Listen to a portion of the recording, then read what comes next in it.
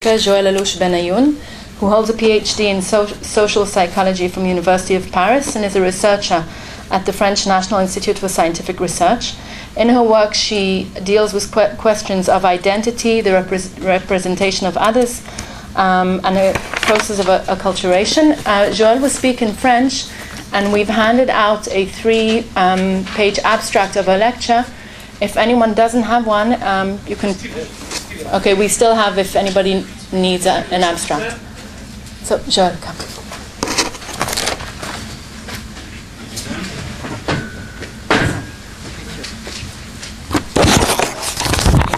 Can, yeah, yes. So, first, uh, let me uh, thanks to the organizer and uh, uh, you, you have distributed my uh, abstract in English because you can hear my English is very bad. It's not fantastic, so I speak in French. Thank you. Alors, mon euh, sujet porte autour de euh, Sidi Bailly Eliaoulou Alouche. En fait, c'est une illustration de ce qui s'est passé au moment de la conquête de l'Algérie par la France et tous les, conflits qu'il a, y a pu y avoir entre les Juifs de France et les Juifs d'Algérie. Les Juifs de France ayant comme mission de régénérer euh, la judaïcité d'Algérie. Donc les Juifs d'Algérie, lorsque la France débarque en 1830, euh, sont sous le régime de la Dima. Hein, ils vivent sous le régime ottoman, ils sont sous le régime de la Dima, c'est-à-dire qu'ils vivent sous un régime qui est un régime théoriquement de protection. En fait, c'est la protection du culte. Ils peuvent faire tout ce qu'ils veulent au niveau du culte, mais ils doivent être toujours inférieurs par rapport aux musulmans. Donc c'est dans ce contexte global d'humiliation et d'oppression par les musulmans qu'il faut comprendre, je crois, l'histoire des relations entre les Juifs d'Algérie et la France, qui, comme vous savez, est une histoire un petit peu mythifiée, mais en même temps, euh, il y, a, des choses de vraies hein, dans cet amour que les Juifs d'Algérie ont manifesté pour la France pendant très longtemps malgré les appréhensions des débuts de la, colonisation, parce qu'effectivement, ce n'étaient plus les musulmans qui allaient peut-être qui les domineraient encore, mais c'était les chrétiens qui arrivaient. Hein, donc il y a eu des appréhensions. Le profond mysticisme des Juifs d'Algérie leur fait réinterpréter la venue des Français comme une possible providence, comme un dessein de Dieu. Et est-ce que le fait que la France venait, est-ce que c'est ça qui allait les libérer du joug des musulmans et qu'elle allait les libérer également de la terreur espagnole qui était très présente sur les villes côtières? Ces juifs d'Imi comprirent assez rapidement l'influence ce que l'influence de la pénétration européenne signifiait pour eux. Donc un affaiblissement des normes islamiques traditionnelles de la société, d'autant qu'il faut souligner que dès l'acte de capitulation de juillet 1830, la France proclame l'égalité de tous les habitants de l'Algérie devant elle et elle garantit leur liberté de culte et de travail. Une véritable révolution. C'est une révolution totale, puisque pour la première fois dans un pays musulman et pour la première fois en Algérie, les juifs d'Algérie se trouvent sur un pied d'égalité avec les musulmans, et euh, qui jusqu'à présent donc les toléraient, mais comme minorité inférieure. Bon, donc voilà, ça commence de manière un peu idyllique, mais les, mal les malentendus et les incompréhensions vont très vite s'installer, parce qu'en fait, entre la France et les Juifs d'Algérie, il y a les Juifs de France. Et euh, ce sont eux qui vont être les principaux interlocuteurs de, des Juifs d'Algérie et en quelque sorte les tuteurs de cette émancipation que certains ont appelée émancipation à marche forcée. Hein, C'est d'ailleurs ce qui s'est passé. Donc, au moment de la conquête, il y a à peu près 15 à 16 000 juifs en Algérie sur 2 millions de musulmans. Une toute petite minorité, mais enfin ça c'est vrai dans tous les pays du monde. Hein. Mais donc 15 à 16 000 euh, juifs sur les euh, 2 millions de musulmans. Euh, et les, juifs de France qui découvrent cette communauté vont avoir comme projet très vite de les mettre sur le même modèle qu'eux. Eux, ils sont français depuis 40 ans seulement, depuis 1791. Et ils commencent déjà à bénéficier des avantages de la civilisation française. Ils sont allés à l'école, il y a déjà des juifs, de France dans l'armée, dans l'enseignement. Bon. Et ils veulent que ces juifs d'Algérie soient au même niveau qu'eux, en plus parce qu'en France, au niveau politique, on ne peut pas... Euh, euh, civiliser si vous voulez, ces juifs d'Algérie en tant que communauté. Ça ne peut se faire que sur un plan individuel, en tant que citoyen. Bon, ça va prendre beaucoup de temps, mais très vite, dès 1832, il y a déjà euh, une diminution du pouvoir des, tribunaux rabbiniques. Jusque-là, les Juifs d'Algérie étaient organisés avec un mokadem, un chef de la nation, qui avait des rapports avec les autorités turques, qui était chargé en fait de récupérer les impôts.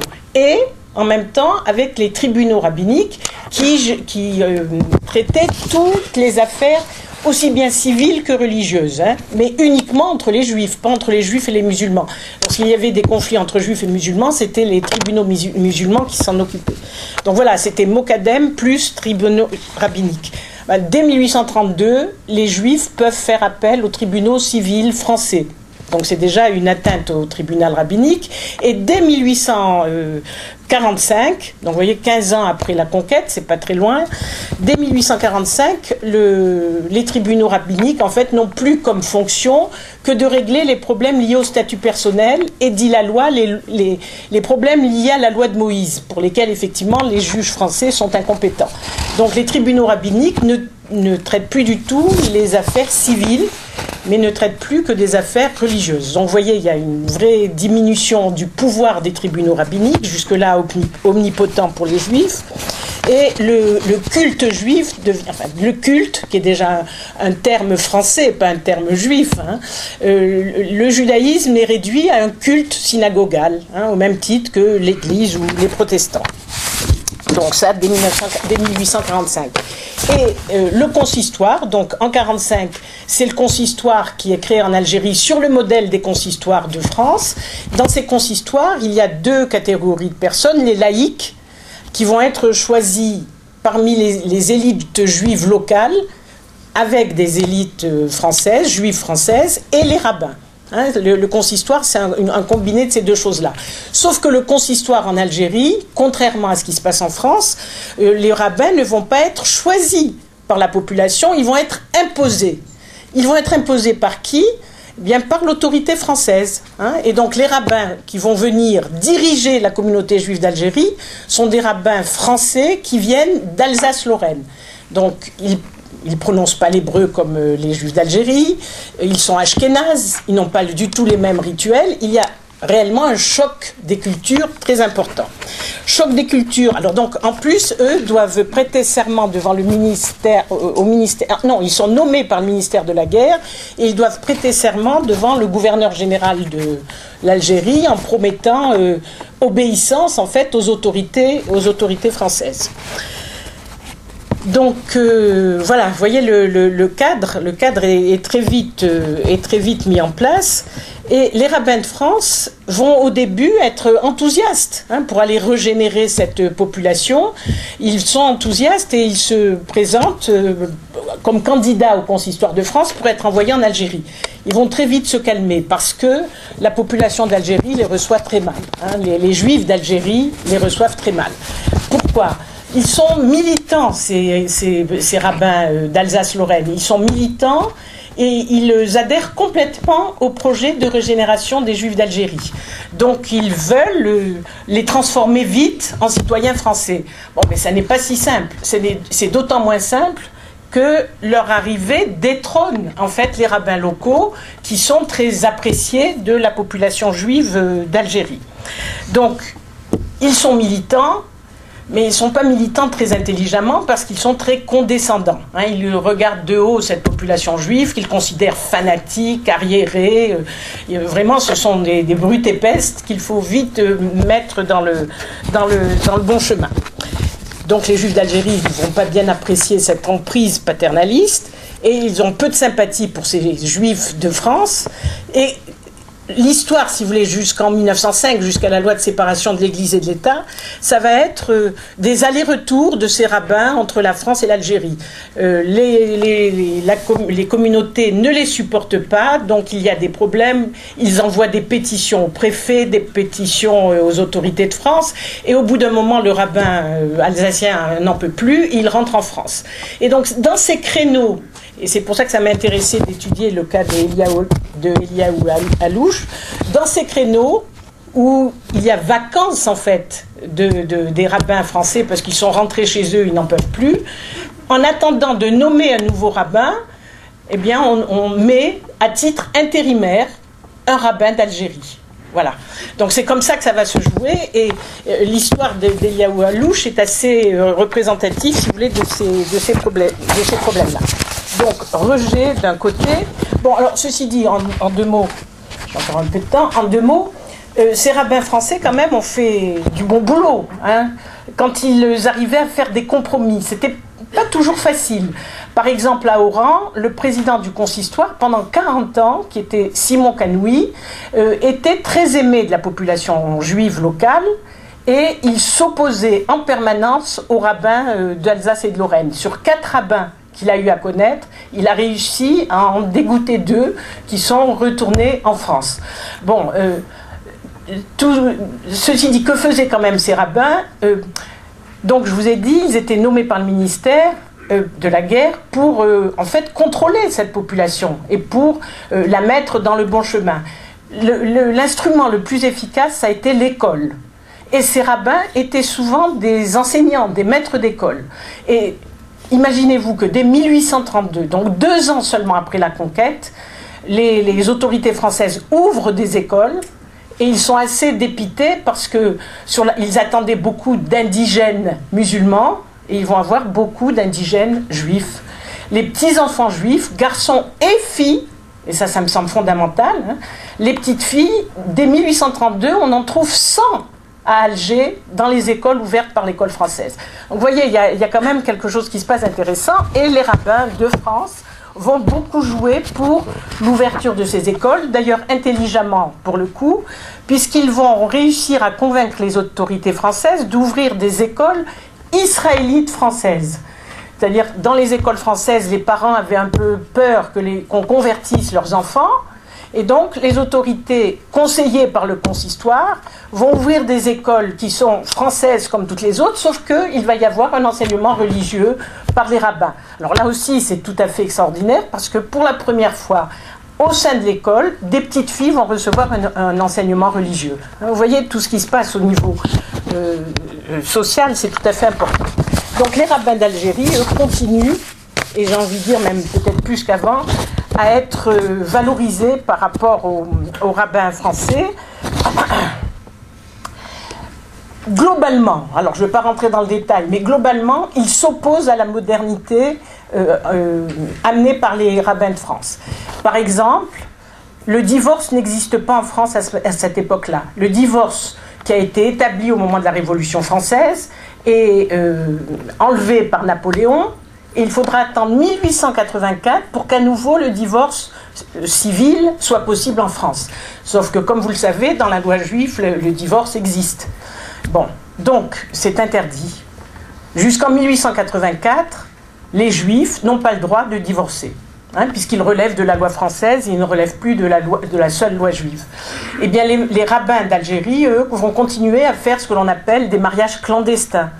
Donc ils vont marier les gens uniquement religieusement. Alors je ne sais pas si vous êtes tous au courant de la loi française, mais en France, il faut se marier d'abord civilement et ensuite seulement religieusement. Donc quand vous arrivez à la synagogue, à l'église ou ailleurs, si vous voulez vous marier, il faut montrer le certificat de mariage civil. Bon, donc ceux qui ne veulent pas se marier civilement, les, rabbins euh, font des mariages clandestins. Alors ce qui va être intéressant, et vous le verrez après, c'est que Liaou lui, ne, fait pas ça. Hein. il va marier ses filles lui-même, il, accepte de marier ses filles à la mairie. Bon, en 1870, tout le monde sait ça, c'est le décret Trémieux. Donc les, les Juifs deviennent officiellement citoyens français. Donc ils sont juridiquement, politiquement assimilés à la France, mais sur le plan culturel, ce n'est pas encore tout à fait le cas. Hein. Ce n'est pas un décret qui peut modifier des siècles et des siècles d'acculturation à une autre ère culturelle. Donc, cette opposition entre les, les rabbins de France et les rabbins d'Algérie se manifeste très concrètement dans les salaires. Euh, les rabbins de France, lorsqu'ils sont nommés euh, grands rabbins de Constantine, d'Alger, d'Oran et de Tlemcen, touchent environ 5000 francs de l'époque par an. Les rabbins d'Algérie, lorsqu'ils font un intérim, ils touchent entre 240 et 1000 francs par an. vous voyez, il y a vraiment une logique, la colonisatrice, qui est tout à fait euh, prégnante. Alors, donc l'exemple d'Eliaou Alouche, l'illustration d'Eliaou Alouche par rapport à tout cela. Il est lorsque la ville est conquise. Alors elle, elle n'est pas conquise en 1830, mais elle est conquise en 1837. Lorsque la ville euh, est conquise en 37, il est déjà rabbin. Hein, il est jeune, puisqu'il est né probablement en 1810, euh, et il est né donc sous le régime ottoman. Il s'appelle Eliaou Alouche et très vite il va avoir un surnom qui est Sidi Baé. Alors euh, en arabe, Sidi c'est un mot de, de respect. Hein. Et Baé en judéo-arabe c'est quelque chose entre beau et bon. Hein, et on va l'appeler Sidi Baé, c'est quelqu'un qu'on respecte parce qu'il est beau et bon. Donc euh, euh, il naît donc en 1810 et donc régime bélical qu'il connaît jusqu'à l'âge de 25-30 ans. Alors il fait partie d'une dynastie rabbinique son propre père était déjà rabbin à Constantine et il descend probablement d'un grand rabbin de Constantine, enfin d'un Dayan plutôt, d'un Dayan de Constantine du XVe siècle qui s'appelait Rabbi Moïse ben Salomon.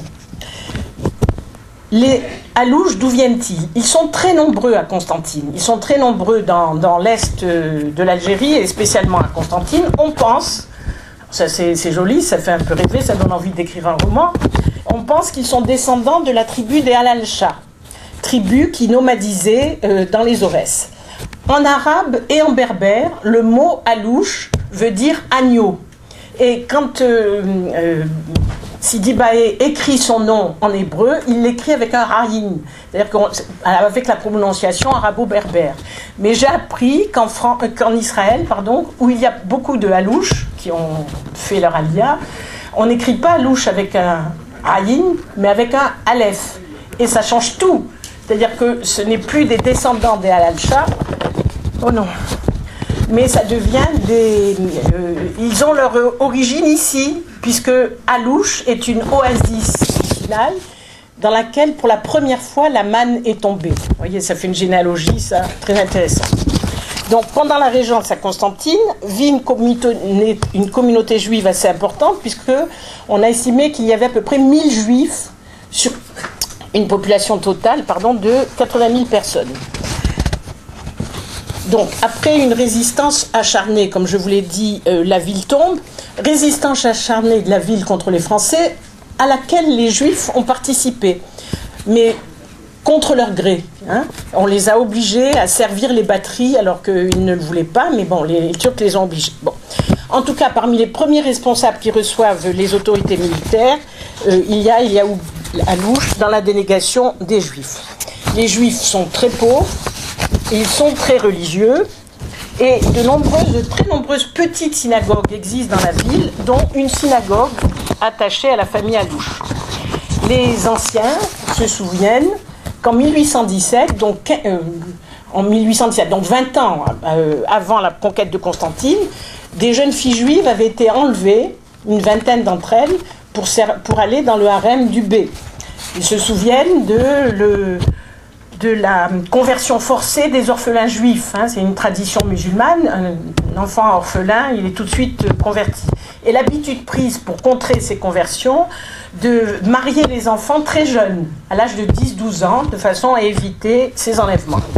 Lors de l'arrivée des Français, Eliaou Alouche encourage dans ses sermons les Juifs de Constantine à rester sur place et à ne pas s'exiler en Tunisie, parce que plusieurs familles ont peur des Roumis, les chrétiens qui arrivent, et ils partent en Tunisie. Donc très vite, il manifeste ses sentiments pro-français, puisqu'il leur, les encourage à ne pas euh, s'exiler en Tunisie, parce qu'il est persuadé que les Français vont mieux protéger les Juifs que ne le faisaient les Arabes. Et en récompense, en quelque sorte, il est nommé à titre provisoire rabbin dans sa propre synagogue. Voilà, ça on a bien la, logique coloniale là aussi. Donc il est nommé ministre officiant dans sa synagogue. Lorsqu'arrive dans la ville, vers 1850, un groupe de familles juives de Tunisie. Vous savez que pendant toute la colonisation, il y a eu beaucoup de mouvements hein, dans les deux sens. Ceux qui avaient peur d'être déjudaïsés allaient au Maroc ou en Tunisie, mais du Maroc et de Tunisie sont venues plusieurs familles juives pour bénéficier justement de la protection française et puis de, des progrès qu'a la, la, France. Donc en 1850, un groupe de familles juives de Tunisie arrive à Constantine et ils vont naturellement dans la synagogue de Sidi Baï puisqu'ils savent que euh, Sidi Baï encourage les juifs à rester sur place et à ne pas aller, euh, ailleurs. En 1843, l'état civil français s'ouvre aux juifs à Constantine plus tard que dans les autres juifs, mais dans les autres villes, pardon, mais il s'ouvre en 43.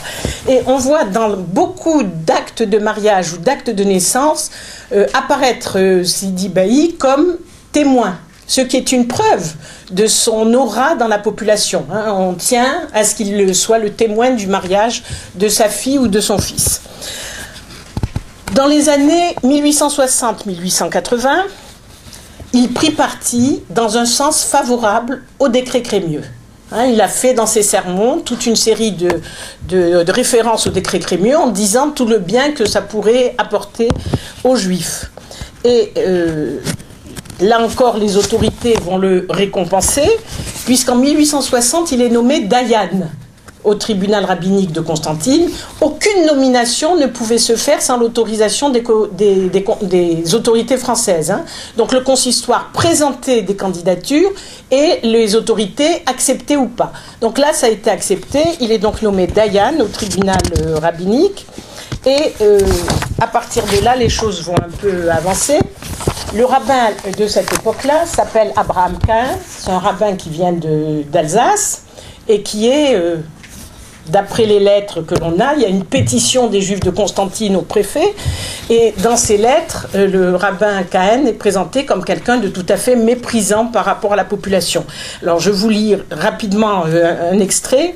Dans cette pétition euh, au préfet de Constantine, on lit que Eliaou Alouche est un homme de grande influence et dont la parole a un grand poids dans la masse israélite vous entendez israélites, hein, l'époque, euh, voilà, les juifs se francisent, donc ce sont plus des juifs, ce sont des israélites.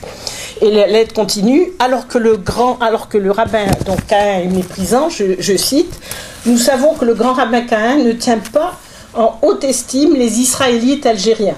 Sa profonde intelligence, c'est ironique, sa profonde intelligence les juge comme autant d'hommes incapables d'avoir quelques idées saines, sans culture intellectuelle et qu'à son avis, on devrait les administrer à la turque.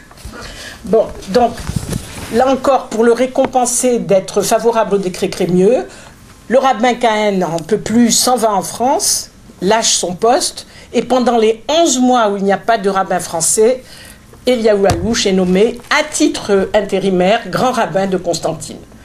Donc là, avec un salaire moindre et tout, mais c'est une manière, si vous voulez, de reconnaître en fait sa place dans la population pendant euh, toute cette période-là, il n'y a eu que neuf rabbins indigènes qui ont été nommés grands rabbins à titre provisoire. Vous voyez, c'est vraiment, euh, des, situations tout à fait euh, particulières.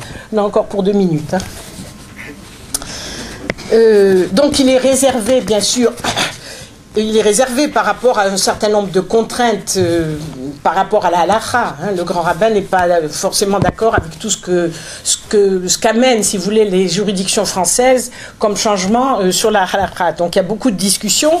Mais ceci étant, et je reviens à ce que je vous disais tout à l'heure rapidement, il marie ses filles à partir de 1840, 1850.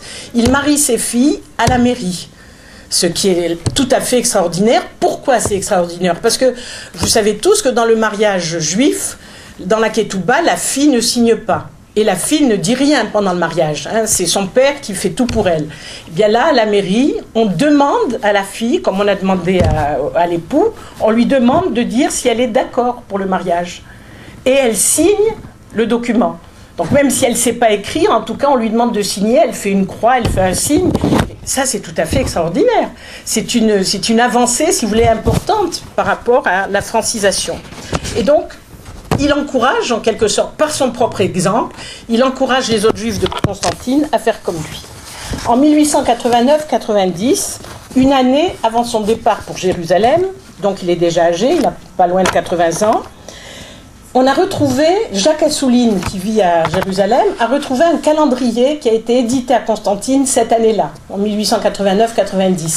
Donc c'est très intéressant de lire euh, ce calendrier euh, publié par le consistoire. Entre autres choses, on découvre donc que euh, Sidi Bailly est grand rabbin de Constantine, qu'il est Dayan et qu'il participe beaucoup à la yeshiva de Constantine qui s'appelle la yeshiva Etzraïm. Dans cette yeshiva, euh, il y a euh, ben, des, enfin, des étudiants, quoi, des étudiants, des rabbins qui étudient, et surtout, Sidi Bailly, il reçoit des Chachamim Kohelim qui viennent d'Israël. Et pendant toute sa carrière, en fait, il a reçu des émissaires israéliens venus en Algérie pour recueillir des dons et qui en même temps transmettaient leur savoir kabbalistique aux juifs d'Algérie et de Constantine en particulier, qui en étaient très friands. Donc vous voyez, il y a eu ce, lien tout le temps hein, entre la Terre Sainte et l'Algérie. Et d'ailleurs, quand lui va émigrer, il va être en partie pris en charge pour s'installer ici par ses, ses euh, qu'il connaissait. Donc il part pour son, avec son épouse à Jérusalem en septembre 91. Il est accueilli dans une yeshiva où il écrit son dernier ouvrage, Eretz Tov, qui va être publié grâce à une souscription des fidèles constantinois. Il meurt même pas une année après. hein. Il meurt en août 92, il est arrivé en septembre 91, et il est enterré au cimetière du Mont des Oliviers. Bon, je, vais vite.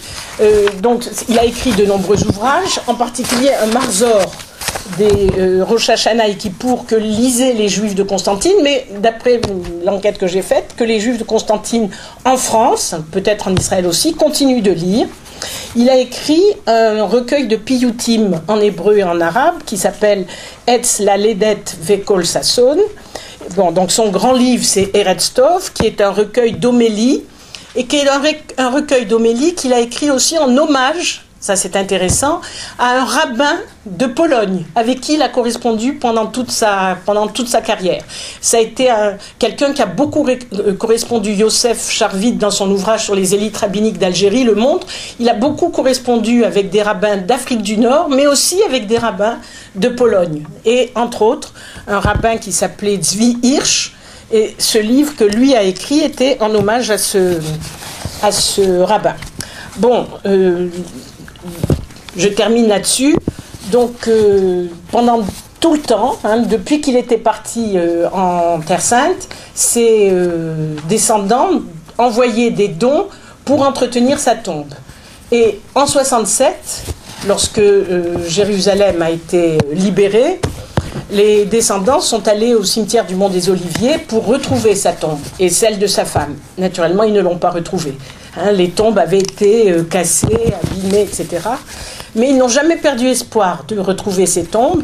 Et euh, l'an dernier, un de ses descendants, qui descend d'une de ses filles, a fini par retrouver la tombe de Sidi Bailly et de sa femme, qui sont restaurées depuis six mois et qui sont euh, donc maintenant en bon état avec l'inscription qu'il y avait à l'origine en 1893 quand ils sont morts.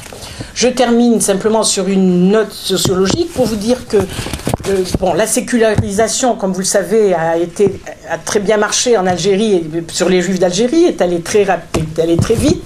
Et quand je regarde la descendance de euh, Sidi Bailly, à la sixième génération, c'est-à-dire les petits-fils de ses petits-fils, eh on trouve en 1998 le prix Nobel de physique, le prix français Nobel de physique, qui s'appelle Claude Cohen-Tenouji. Donc, il n'y a plus beaucoup de rabbins hein, dans la descendance. Il semble qu'il y en ait maintenant. Il y a un halouche rabbin en Arizona. Tout arrive. Euh, mais quelque part, si vous voulez, euh, cette famille comme d'autres ont montré que petit à petit, le savoir sacré a cédé la place au savoir profane. On continue de vénérer l'aïeul, bien entendu, mais on n'a pas envie que son fils devienne rabbin. On préfère qu'il soit médecin, avocat ou autre chose. Je vous remercie.